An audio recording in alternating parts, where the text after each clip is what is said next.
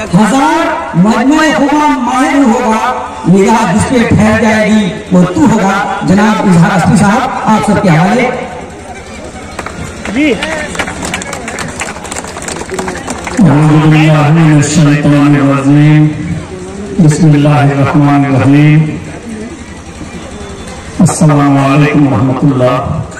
आज के जलसा के सर और हमारे बिहार के नुमाइयों के सर जनाब अख्तर ईमान साहब बहादुर के विधायक जनाब पंजाब नईम साहब नुमाइयों के जिला अध्यक्ष जनाब इसहाक साहब और हमारे यहाँ पर आज के प्रोग्राम में जो अपने आप को मेहनत से तरबतर हुए हैं हमारे जुम्मन साहब और इस यहाँ के प्रखंड के युवा अध्यक्ष और इस कार्यकर्ता को सफल बनाने के लिए जितने तमाम एमआईएम के सिपाही हैं, सबको मैं दिल की गहराई से मुबारकबाद देना चाहता हूँ।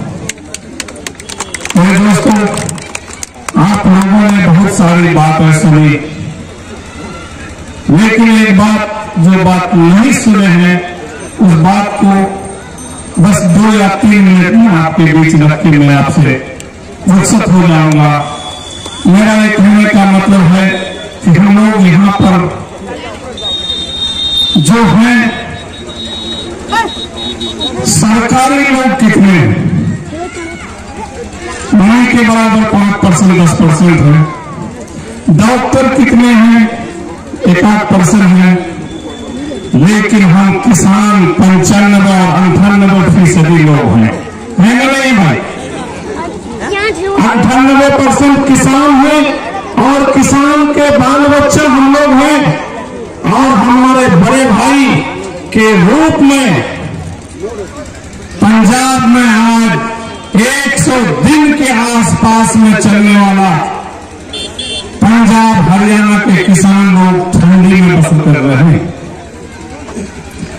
तमाम लोगों को दावत देने के लिए आया हूँ आप लोग अगर बड़े भाई यानी पंजाब के, किसान हमारे बड़े भाई हैं वो हमारे लिए हम किसानों के लिए अगर आवाज़ उठानी है तो ज़ाहिर सी बात है अगर हम हिंदुस्तानी हैं तो हमारा हिंदुस्तानी वो भाई है और भाई का साथ देना पर फ़र्ज़ है। लिहाजा बहुत सारी पार्टियाँ हैं यहाँ पर। बहुत सारे दल के लोग, नेता भी हैं यहाँ पर। लेकिन अपनी आवाज़ को उठाने के लिए, अपनी आवाज़ की हक की लड़ाई लड़ने के लिए, बिहार में अख्तर ईमान और हिंदुस्तान में जनाब साहब अवैसी साहब अभी अभी हम लोगों को हुक्म हुआ है कि आप लोग बिहार के लिए क्या कर रहे हैं?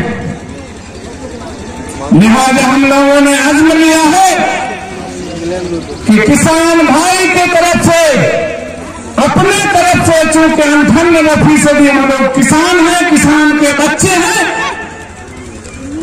हमारे बैरिस्टर सौद्दीन साहब के हुक्म से हम लोग सरकार के खिलाफ में, सरकार के काला कानून के खिलाफ में एक मुहिम चलाने जा रहे हैं, जिसका तारीख बिहार के सदर जनाब अख्तर साहब पंद्रह फरवरी तय किए हैं, जिसमें हम लोगों ने एक मत होकर के तमाम लोगों पर कन कन तक जन जन तक इस आवाज़ को फैलाने के लिए तैयार हुए हैं।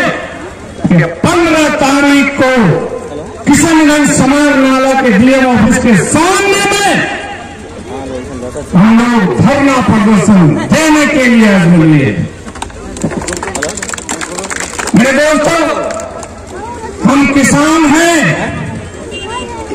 हाँ तो भैया तो कितने लोग किसान हैं? एक आध परसेंट के अलावा सब लोग किसान हैं।